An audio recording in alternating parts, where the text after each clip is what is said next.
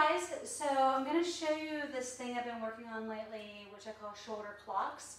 And we're just going to start off with the hands to the sides. All you're going to do is go through elevation and neutral and then depression of the shoulders. Again, making sure that you're in a straight line. So you're in this neutral position of your body. You're not swinging those hips forward, right, or too far back. And see if you can find that. And now we're going to do one arm at a time.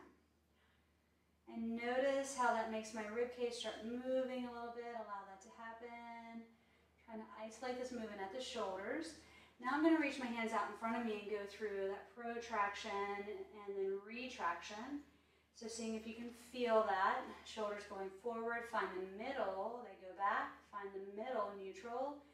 And again, so again, the rib cage is moving here with this motion. My head is not too much though. And now we're going to do one at a time with that. So I'm going to reach one arm forward and then the other. I'm going to try to keep my hips level. So reach and reach. Yep, takes you through a little rotation, that rib cage mobilization. You get your shoulders to move, your rib cage has to move. We're going to take the arms directly overhead. Same idea, go into depression, neutral, elevation, neutral, depression. And notice what that does to your thoracic spine. It makes you want to lift your breastbone up when you drop down. And again, one more time. Now we're going to do one at a time on this. So reaching. So just reaching from side to side. Good job. All right, now I'm going to go out to the side. So my arms are going to go out to the side.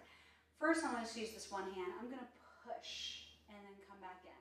So push, like you're pushing something away from you. We do this on the reformer when we do the mermaid. Do the other side, so push. So this side of me comes in as I push. The shoulder blades going that way as I push, and again, push. Now I'm gonna go from side to side. So get that push and push and push. So see if you can feel that. See if you can get that. It's a little hard. It's a little bit harder.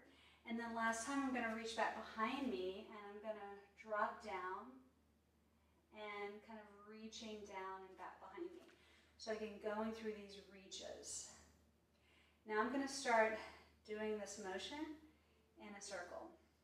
So I'm going through this shoulder mobilization and I'm gonna go all the way up. Now when I get to about right here, my palms are gonna wanna start flipping because the shoulders want to move in the socket. So let that happen, let that happen push, and now we're going to go down and back behind you, and reach back behind you, and then come back through again.